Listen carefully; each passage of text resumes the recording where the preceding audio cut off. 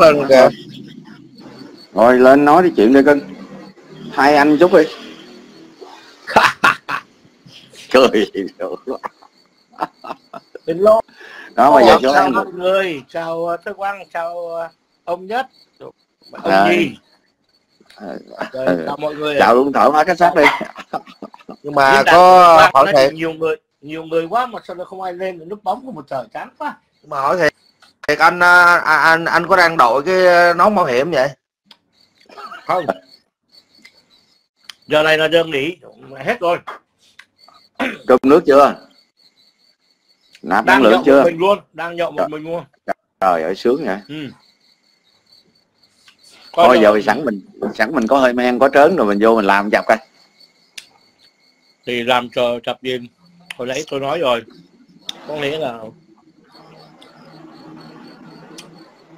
một con chó. Không. Vô chửi chó liền. Anh là một con chó. Anh có làm cái gì thì cái nó vẫn là chó. Nó chỉ khác nhau cái chó chó con chó nhỏ chó lớn chó to mà chó nhà chó cửa chó hoang. Đó, ví dụ tôi hỏi anh nè hoặc là tôi quan hoặc mọi người dưới. Từ xưa đến giờ đó là ở cái nước Việt Nam mình rất nhiều người bị ờ, phạm tội phạm luật chống đối nhà nước trộm cắp trộm cướp hoặc là nói chung cái cái tội hình sự mà nó còn Đấy. nặng đó nó lên được kìa. Ờ. thì sẽ bị ờ, thứ nhất là bị bị bị tùy theo tội để bị ờ, bị bị bị bị ờ, trừng phạt đúng không? Thì ví dụ như có cái tội gọi là nhưng mà bất cứ một cái tội gì trong cái thời gian học tập anh phải có tiến bộ anh phải có ờ, biểu dương tốt thì các xã thì người ta thứ nhất là người ta sẽ xét vào ân xá hoặc là thả đi. Thế như cái thằng đài đó hồi xưa nó ở Việt Nam nó phạm tội. Nếu như mà nó không có ăn ăn hối cải hoặc là không ở riêng thằng đài mình thấy rất nhiều người uh, ở nước ngoài về hoạt động chính chống chính quyền rồi chống này chống kia cũng cái bản đi sợ xào đi xào lại hoài lúc bị bắt anh có thấy có đứa nào hoặc là mọi người đâu có thấy đứa nào mà nó ngồi trên tòa hay nó ngồi trong tù nó cho lời khai mà nó gân cổ nó cãi rồi nó la rồi nó sủa y như chó không? Có. Nó sủa coi như là giống như là đồ mà người lạ vô nhà mà mà mà, mà sợ ăn cướp của nhà nó đó. Nó sủa chó sủa thì các anh biết rồi mọi người biết rồi. Lúc mà nó kêu kinh khủng lắm.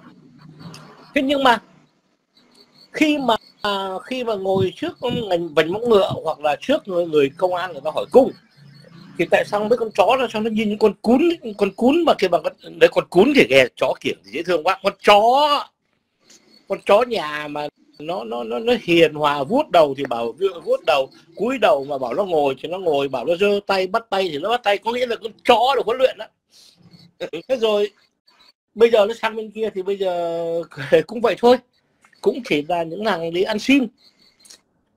Nó thí cho miếng của rồi lên youtube, lên này, lên kia để kiếm gỡ thêm các đồng bạc thôi. Tại vì sao? Tại vì tôi ở ở ở việt nam, không cần anh mang chức vụ gì, anh bằng cấp gì, anh sang nước ngoài, anh phải học từ vỡ lòng trở lên. Anh không biết tiếng thì bốc cứt. Những ở đây người ta làm, tôi hiện nay tôi đang làm việc bên thụy sĩ. Có nhiều người, công dân thụy sĩ, người ta phải làm hai ba job trong khi đó người ta là gì? Kỹ sư. Các cái kia vẫn phải về đi kiếm tiền thêm mẹ để có gì? Để có cuối tuần có chi phí có thêm uống chai bia chứ. Bốc cứt mẹ cỡ như nó sang đây làm cái gì? Đó cho nên là đôi khi mình nói là nói cho nó vui. Để anh em mình là gọi là ờ, cuối tuần thơ quang nó mở like lên anh em lên tấu hài tấu hiếp các cái thôi. Chứ còn ờ, cuộc sống ở hào quang ờ, rực rỡ hào quang khó kiếm lắm khó kiếm lắm. Mà kêu bằng cái gì? Phải đổi bằng mồ hôi và nước mắt. Không cày còn nếu như anh sang đây anh bập bẹ vài một tiếng, anh quên mẹ không ai xài anh đâu. Anh ở nước nào anh phải xài dân, xài tiếng của nước đó. Nó chỉ chấp nhận cho anh lúc đầu thế thôi, chứ còn anh bảo mang tiếng anh, rồi anh sang đây xin kiếm việc làm, anh quên đi. Còn anh trưng bày bằng luật sư, không lẽ bây giờ mình nói mất lịch sự đến mức độ mình lấy mẹ cái bằng mình đi chủ đít thì nó kỳ quá. Nó tức tức mẹ bằng rồi. Cho nên Nguyễn Văn Đài muôn thủa muôn thủa kiếp này nó chỉ kiếp người được. Không làm kiếp người được. Đừng có mang mang mang mang tiếng là bỏ sang nước ngoài để mà võ về rồi lên mặt hoặc là cái này, cái kia giống như là ở Việt Nam. Ở Việt Nam á, ít nhiều đi nữa đó. Anh mang cái bằng luật sư. Anh đi kiếm cơm hàng ngày, anh ra, ôi giời, chào ông luật sư nhá không được cãi những vụ lớn thì cũng cãi được vụ nhỏ thì đại khái uh, ok đi. Nhưng mà người ta lại không an phận. Người ta muốn làm ông này bà kia thì mà sang đây làm ông luôn. Ông ông chó ông đồ mẹ bốc cứt luôn. Nếu là làm được cái gì? Cho nên là uh, nhiều khi anh em mình lên tấu hài cuối tuần cho nó vui thôi. Chứ còn mẹ cỡ này thì mẹ cũng lại chỉ chó thì mẹ không lẽ mình nói chó kiểng ở nhà ăn cơm chứ? Chó hoang ngoài đường toàn đi ăn cứt không chứ ăn gì? Ra mà hồi xưa cái thời mà anh em mình còn khổ chó cứt thì nhiều bây giờ thế thôi. Tôi ủa còn nghe được không? Còn nghe tôi nói không? Nghe nghe à, ông nghe. nói ông nói à, ông, thật, ông thật ra đó cái thằng này á thằng này nó đáng bị chửi lắm. Nhưng mà hồi trước giờ anh em mình chửi nó quá trời rồi chửi hoài rồi chửi nặng nề luôn á. Mà giờ mình chửi nữa thì nó qua nó lại nó tới nó lui thì cũng những từ ngữ đó những ngôn từ đó. Nhưng mà tôi có gì khác nữa đâu. Tôi, tôi khoan cho tôi nói hết đi. Cho nên tôi không có muốn chửi nữa là vậy đó. Không Chứ phải. thật ra đó đem biết không? đem đó người Việt Nam á cái người Việt Nam á nếu mà nói về vấn đề mà tự ái á, người Việt Nam tự ái cao lắm cao dã man luôn đó tôi nói thiệt. Cao dễ nhưng này nó nó đứt mất mẹ cái sợi dây tự ái rồi. Có nghĩa là không phải. Anh có nghĩa là là anh anh không phải nó nếu mà nói đứt dây dây này dây kia dây chẳng dây chờ dây đứng dây niếc thì còn nói được. Chứ còn thằng này hình như là nó học chưa tới anh ơi. Có chắc mù bằng nữa không ừ, không, này phải, không phải nó sách chưa tới tức là thậm chí nhiều khi nó tiếng việt tôi không hiểu là nó tiếng việt dành không. Tức là nó chưa đánh vần được chữ nhục. Nó chưa học được chữ nhục. Tại vì cái người việt nam mà tự ái nhất là đủ mà mày tha mày chửi cái gì chửi. Đủ mà mày trà đạp danh dự quốc gia dân tộc trở về để mà tao nhục tao là tao cỡ là tao xử mày. Nhưng mà thằng này nó không đánh vần được chữ nhục. Nó nhục mà đến nỗi mà bây giờ nó ở Việt Nam nó làm nó quậy nó phá rồi bắt đầu nó sang đây nó đi nó kiếm cơm kiếm miếng hàng ngày kiếm ăn từng bữa. Không lẽ tôi nói nghe đủ má ở đây mà gõ cửa từng nhà mà để xin cơm ấy, thì nó nhục lắm luôn đó mà đéo ai trò luôn. Bây giờ phải kiếm cơm hàng ngày. Tôi nói nghe bây giờ càng ngày á ở trên châu Âu này, cuộc sống nó càng khó khăn. Công an việc làm rất nhiều. Hồi xưa đó là mình lựa việc, nhưng bây giờ việc có lựa mình. Đó. Việc có lựa mình mà bây giờ mình không có bằng cấp, mình không có tay nghề, mình không có trình độ chuyên môn, coi như là bốc cướp trộn xà lách. Mày kệ mẹ, mày là bác học, mày là kỹ sư, mày là luật sư, hay là mày là lòi sĩ, hay là thạc sĩ không cần biết mày vô đây mày thử cho tao. Mà thứ nhất là về tiếng bản xứ mà sang bên đức á tôi nói thật cho anh biết anh nói tiếng anh là nó ghét như chó. Tôi đứng nó kỳ thị lắm mà tôi nghe ơi, sang bên đức đức rồi mẹ phải hỏi cái you speak toys đó toy nó, nó toy luôn. Mà không speak toy được là bốc cứt. Ủa bác nhưng mà ví dụ mà qua bên đức thì tiếng anh thì uh, như anh nói thì em không nói rồi. Mà nếu mà qua bên uh, qua bên đức mà nói tiếng ba que thì sao anh? Nói tiếng ba que thì lại càng bốc cứt đéo trộn xà lách được và bốc cứt ăn chạp luôn. Anh anh nói cho em nghe. Anh đã từng con anh đã từng sống ở Đức anh đã từng đi ngang Đức không biết bao nhiêu là anh làm ở bên Đức 5 năm. Anh đứng anh chỉ hỏi một câu tiếng Anh anh đi lạc đường nó hỏi tại sao mày đang ở Đức Đức mà mày nói tiếng Anh? Tao không thích nói chuyện tiếng Anh mày tao biết tao đéo chỉ cho mày. Rồi bốc cướp trộn xà lách mà hồi xưa đâu có cái vụ KBS đâu có bảng chỉ đường em coi bản đồ chết mẹ luôn. Cỡ như này học còn chưa tới đâu nữa mà mày nói bằng luật sư học tiếng Việt chứ đâu phải học tiếng Anh. Đó.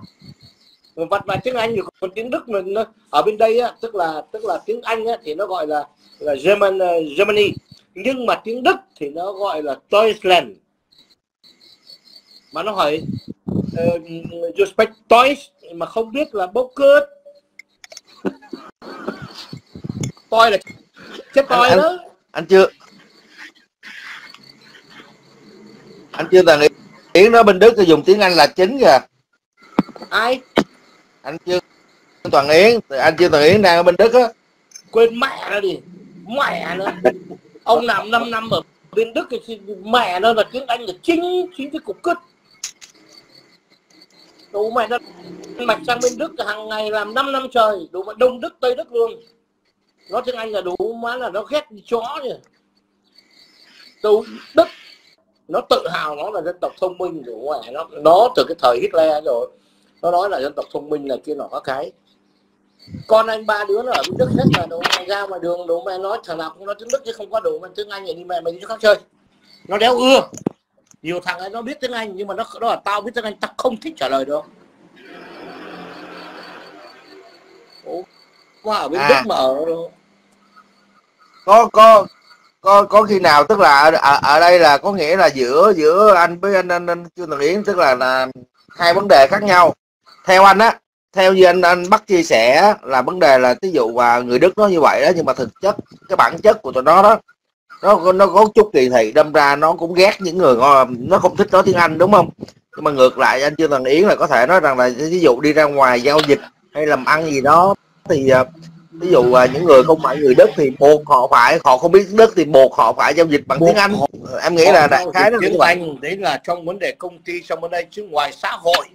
Mà À. đi mà không nói tiếng đức mà đúng mà ngoài xã hội là nó ghét như chó. À. Em ơi thì đó tức là ở em- bên này anh ở bên này 42 năm anh làm bên đức 5 năm và hiện nay anh vẫn đang làm bên đức hiện nay anh đang làm ở bên ý. Ý à bên ờ, bên thụy sĩ ý, thụy sĩ nó không có, có tiếng gốc bản xứ của nó nó dùng tiếng pháp tiếng ý và tiếng đức. Đó.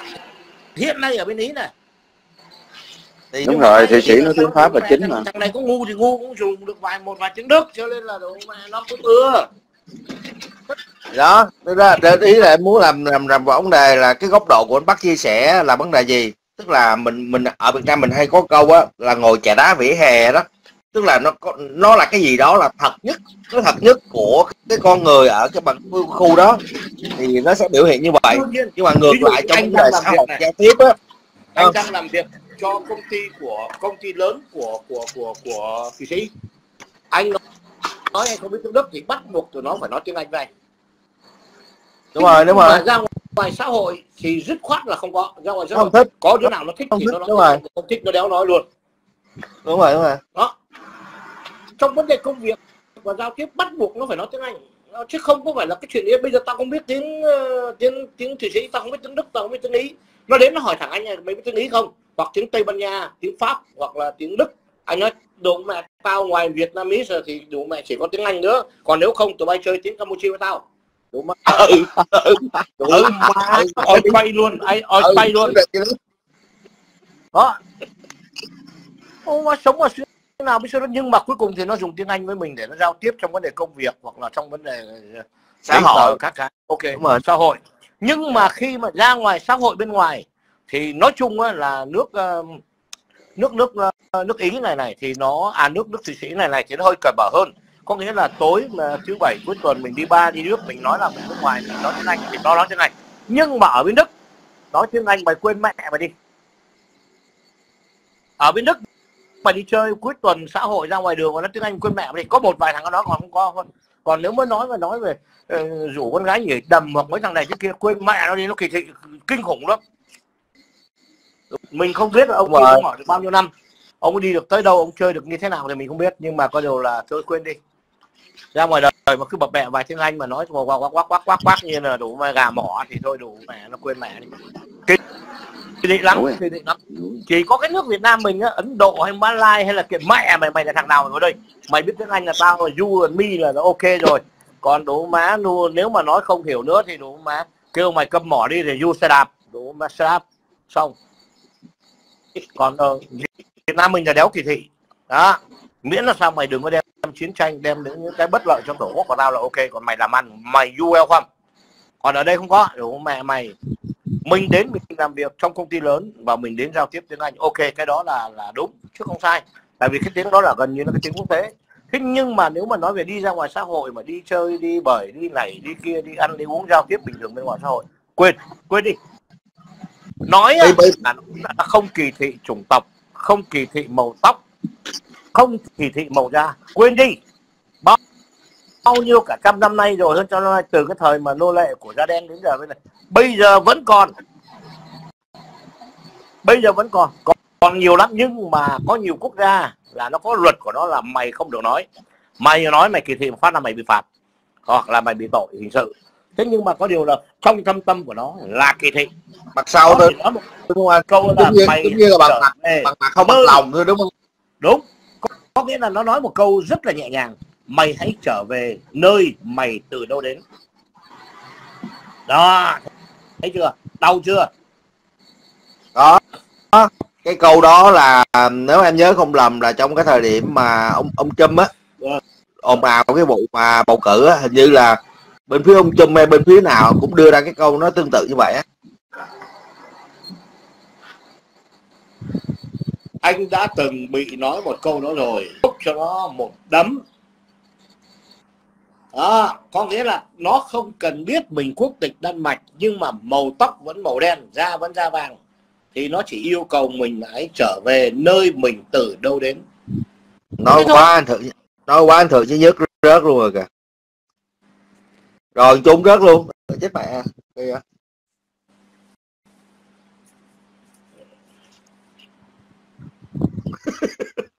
ở bắt lên là ở bên ờ, ở bên ờ, nước ngoài anh ờ, ví dụ như anh ờ, giao lưu với em nhiều với các bạn ở Việt Nam rất là nhiều hoặc là những người hiện nay đang có mặt ở trên cái live của em. Có một số anh cũng quen biết trên mạng hoặc là ngoài đời. Anh chỉ nói một câu là không đi đâu bằng cái tổ quốc của mình không đi đâu bằng ăn bát cơm của mình không đi đâu xài À. cái đồng tiền của mình tự làm ra bằng mồ hôi và nước mắt. Còn tất cả mọi thứ quên mẹ nó đi. 42 năm đã đủ thấm thía cuộc đời này và cái ờ, cái nhân nghĩa của người nước ngoài rồi. Còn mấy ông mới đi hoặc là mấy ông ở lâu hoặc mấy ông nào hoặc mấy ông giao lưu đến cỡ nào mấy ông gì là à, anh không cần biết. Có thể người ta chưa gặp hoặc là như thế nào đó thì anh không dám nói. Nhưng mà mấy ông tôn thờ mấy cái xứ ngoại quốc thì mấy ông quên mẹ mấy ông đi. Mà tôi nói thẳng mấy ông đéo đâu bằng cái cổ tổ quốc của mình hết á. 42 năm trời mắt lắm rồi nhưng mà bây giờ bây giờ à, anh muốn nghe tiếng Gia Lai không? Đấy nó lên rồi thấy rồi. Thằng bán thịt bò nó lên rồi. Ok chào Trung. Xin mời Trung. Rồi.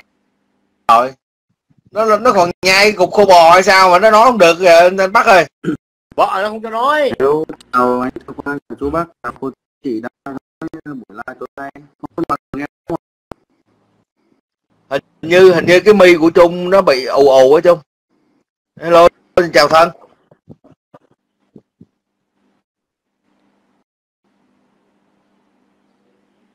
bỏ hẳn cái mi ra ra Trung. Anh Cơ quan, cơ, cơ anh Cơ quan với cô chú anh chị có nghe rõ không ạ? bây giờ nghe bây rồi. nghe được. Bây giờ nghe đó. Không hiểu nó bị thế nào luôn. Chắc là à, đi chơi quá.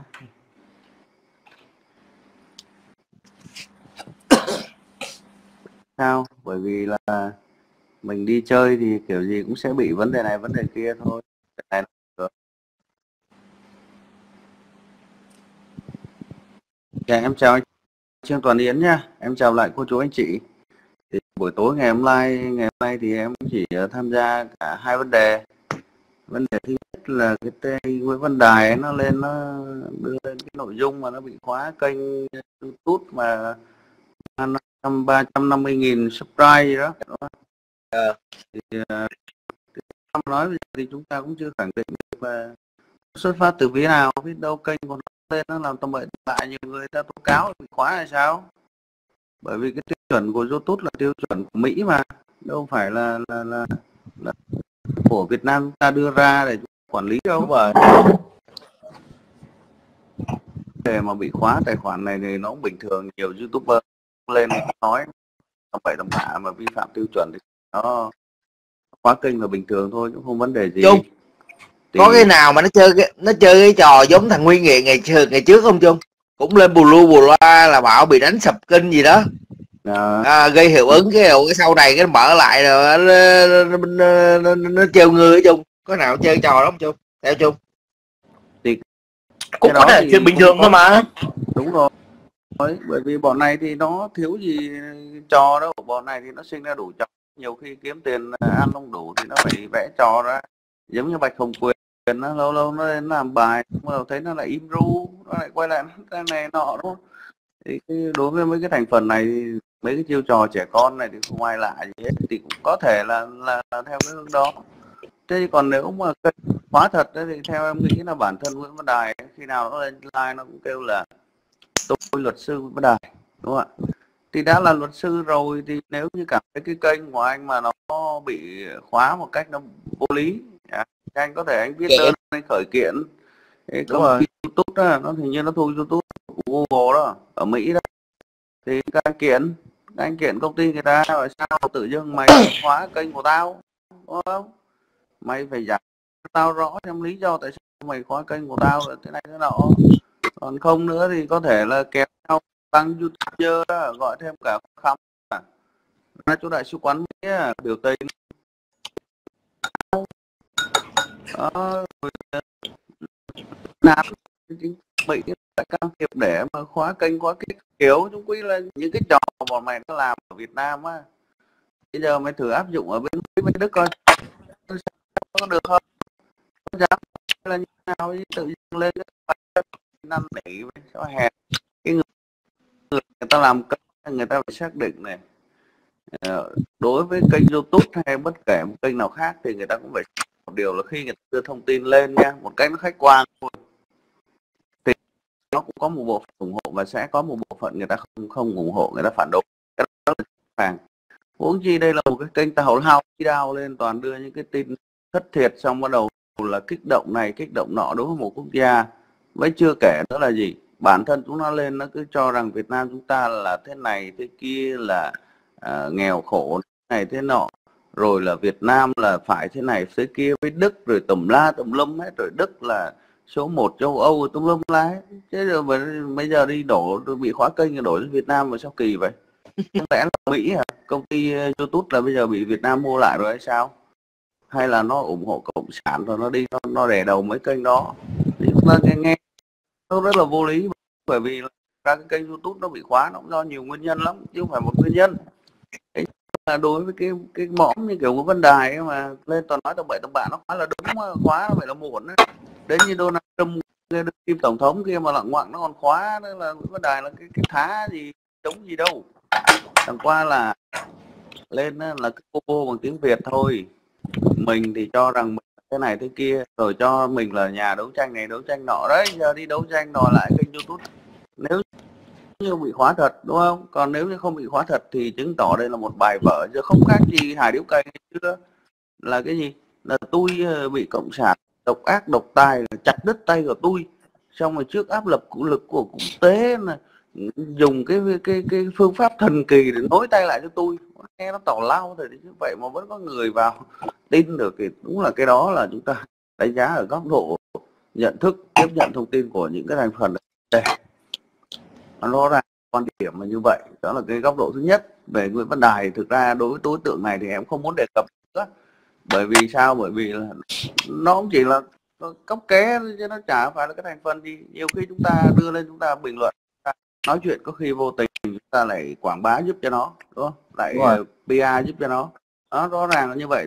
Thế nhưng mà chúng ta cũng phải chia sẻ một góc để mọi người có thể hiểu được hơn. Khi mà một số thành phần vào cái kênh ờ, cái trang ờ, cái nhóm uh, Facebook ấy, thì nó bình luận những cái mà kiếm nhã và nó vu cáo với chính quyền Việt Nam mình.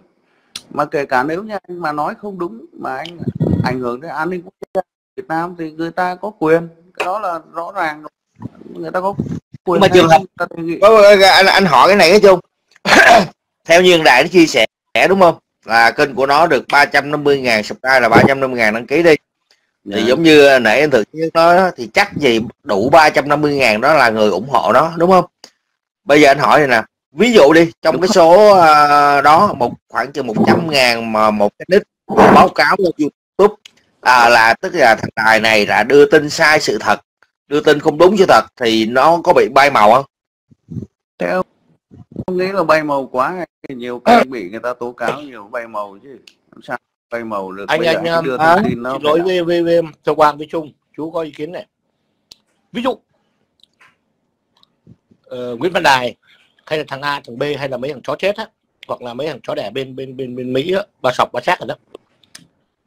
Mấy đứa có để ý không rồi kể cả những thằng về Việt Nam hôm vừa rồi rồi bị ờ, cái con bé gì nó chửi đó những nhà chính trị những nhà hoạt động rồi nhân quyền hoặc là những uh, những cái nồi cắn heo đó đó.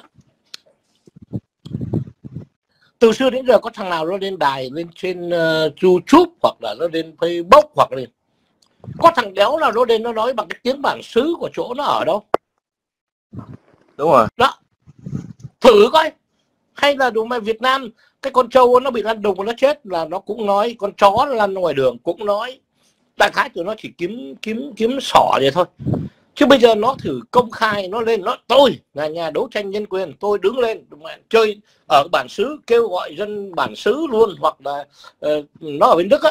Tôi là luật sư Nguyễn Văn Đài tôi ở bên Đức này tôi nói tiếng Đức này tôi nói tiếng Anh này. Tôi lên kêu gọi là nhân quyền Việt Nam hay gì cái gì gì, gì đó có địt mẹ nó đóng cửa lâu rồi cái xã hội Việt Nam và cái uh, chính quyền Việt Nam và hiện tại cuộc sống ở Việt Nam hiện nay nó còn, còn quá dễ thương quá nhân quyền. Mày ở bên này mà mày ở cả chớn cả mẹ mày nó không gõ chết chết mẹ mày luôn đó vỡ đầu luôn.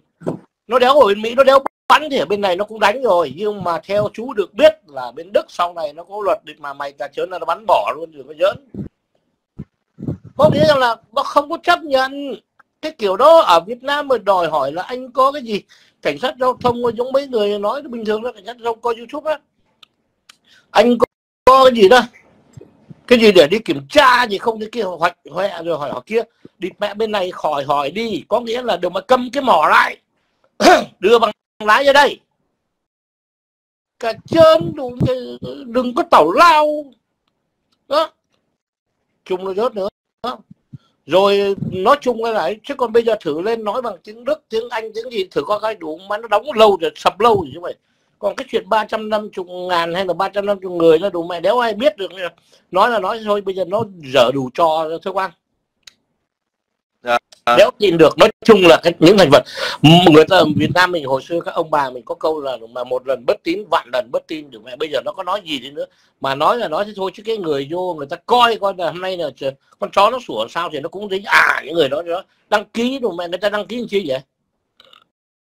Ủa má đăng ký để nghe bằng cái chuyện tàu lao người ta đâu có rảnh. Ở Việt Nam Việt Nam chứ người ta cũng có người có tiền cũng có người không có tiền người ta cũng đi kiếm cơm hàng ngày chứ đúng mà ở bên này cũng vậy thôi ở đâu mà rảnh mà về? Em thấy không? Đúng mà đi làm từ 5 giờ sáng 6 giờ sáng đến 5 6 giờ chiều mới về. Thời gian đéo đâu về, tắm rửa, cơm nước xong rồi mẹ đi ngủ mai, làm tiếp rồi. Ở đâu mà thời gian rảnh mà lên để cào cào bàn phím để mà lâu lâu ví dụ như hôm nay được về. Sớm tí thì ngồi uống lai rai mà tự một mình, một cửa, một phòng rồi mà chơi thôi, chứ còn đâu có tụ tập bạn bè được, đâu có ấy được. Ở xứ lạ quê người đi nước khác làm mà. Mấy thằng cho nó cứ sào cho nó lên, nó tàu lao thiên đế không mà đủ mẹ nó. Ông có đội mày ở bên này mấy chục năm trời rồi, bị thấm quá rồi.